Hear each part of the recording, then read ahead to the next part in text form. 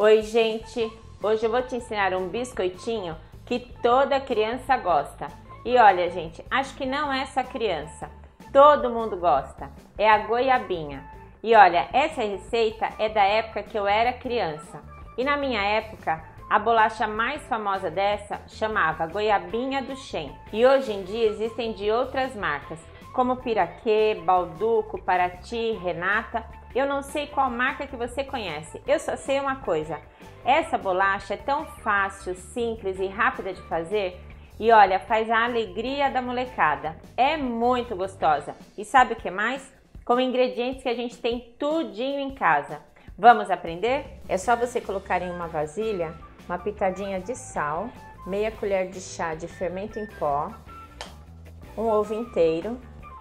Esse aqui tem 50 gramas. Na descrição do vídeo eu vou deixar todos os pesos e medidas. Eu vou colocar também um quarto de xícara de manteiga sem sal e se a sua manteiga for com sal, você não vai colocar o sal da receita. A minha manteiga está em temperatura ambiente. Agora eu vou colocar meia xícara de açúcar refinado Aqui pode ser qualquer tipo de açúcar, só que o biscoito característico é com esse sabor. E uma xícara e meia de farinha de trigo. Aí a gente mistura bem. Viu como é fácil, gente? Bem simples. Já já vai estar tá pronto. Ó, assim que virar essa farofinha, aí você coloca uma colher de sopa de água. Água fria em temperatura ambiente. Agora é só misturar. Aí já vai virar uma massinha. Ó, tá vendo como já fica? Olha, gente, que prático. A massa já tá pronta. Assim que você termina de misturar, já coloca no saquinho. A textura fica assim, olha por dentro. Eu já coloquei no saquinho, mas se você não tiver o saquinho, você pode colocar papel filme. Aqui também a gente vai precisar deixar gelar.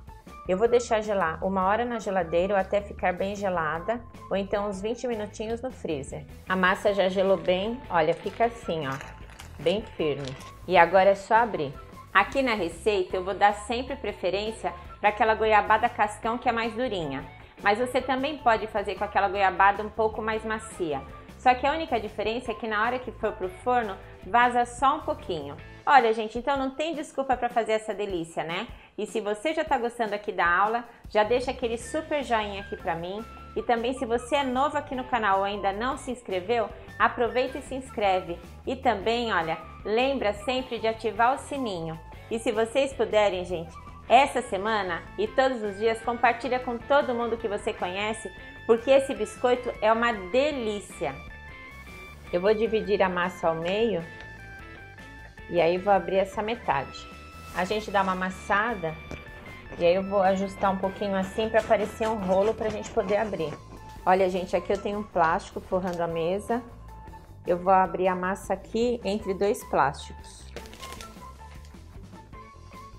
Aí é só abrir com o rolo.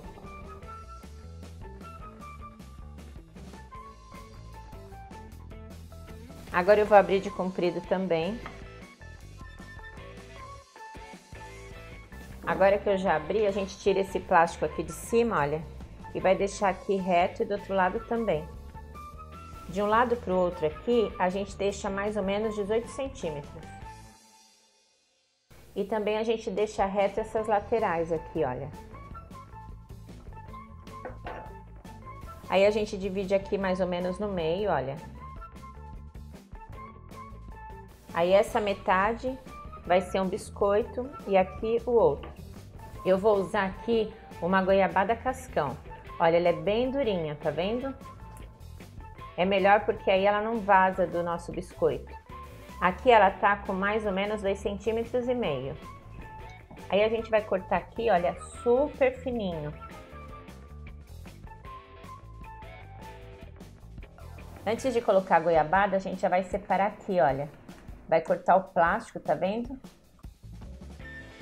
Assim fica mais fácil para a gente trabalhar. Agora, olha só a gente colocando a goiabada aqui no meio, tá vendo? Ficou com 3 milímetros a goiabada. É que se a gente colocar ela muito grossa, acaba ficando muito doce. Aí olha que simples, gente. Com a ajuda do saquinho, a gente vem e coloca a massa por cima da goiabada. Por isso que o saquinho é prático, tá vendo? Agora é só tirar o saquinho e fazer a mesma coisa do outro lado. A gente não precisa passar nada. Agora, olha, a gente passa a mão aqui e dá uma alisada. E acabou, tá pronto. Aí a gente tira daqui para colocar na assadeira. Dá uma ajeitada aqui, ó, no início e no fim. Ó como fica. E agora a gente tem que cortar aqui o tamanho que cabe na assadeira. Você vai pegar a assadeira que você tiver em casa. Aí essa minha, ela tem 30 centímetros, ó, de um lado até o outro. Se a sua assadeira tiver 20, 22, você vai cortar no comprimento da sua assadeira. Como a minha assadeira tem 30 centímetros, eu corto aqui com 30, tá vendo? Aí a gente já pega aqui na mão, olha. Aí é só colocar aqui na assadeira, não precisa untar, fazer nada. Só precisa ficar aqui, ó, grudado de um lado no outro. E para você assar esses pedaços assim que sobram, aí você encosta aqui, olha, coloca um do lado do outro. E aí aqui, que é o último pedaço que tem, você fecha esse lado, para não vazar.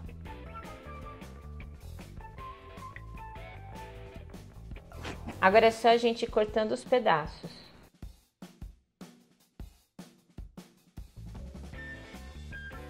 Aqui eu tenho um ovo batido e aí a gente vai pincelar nos biscoitos. E aí você pode deixar ou só pincelado de ovo, que já é uma delícia, ou então você polvilha açúcar cristal. Porque com açúcar cristal ele fica lindo. Agora é só levar ao forno. O forno não pode estar muito forte. O meu aqui está 160 graus, ligado só embaixo, porque o meu forno aqui é elétrico. E no forno convencional você não coloca muito forte. Além dessa receita de hoje e de muitas outras que eu tenho aqui no canal, se você quiser aprender muito mais comigo, é só você fazer parte da minha escola online. Olha, gente, eu vendo um plano anual onde eu tenho mais de 30 cursos disponíveis.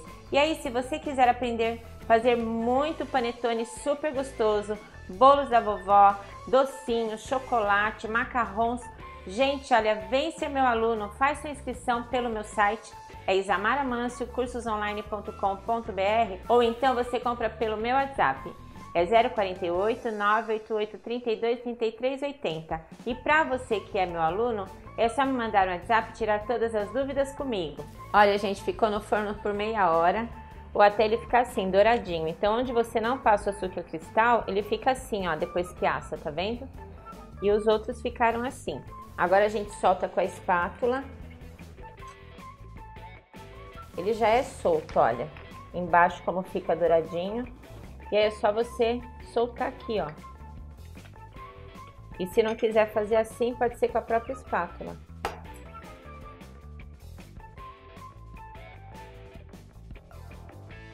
Olha por dentro que lindo que fica. Depois disso, gente, é só deixar esfriar.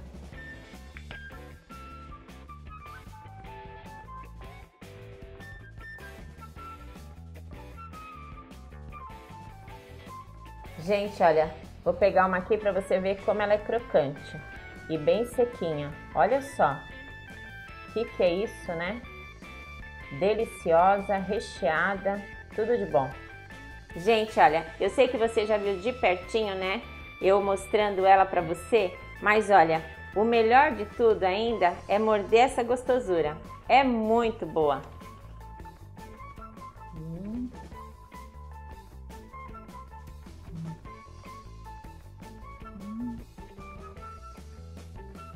Muito gostosa. Hum. Ó.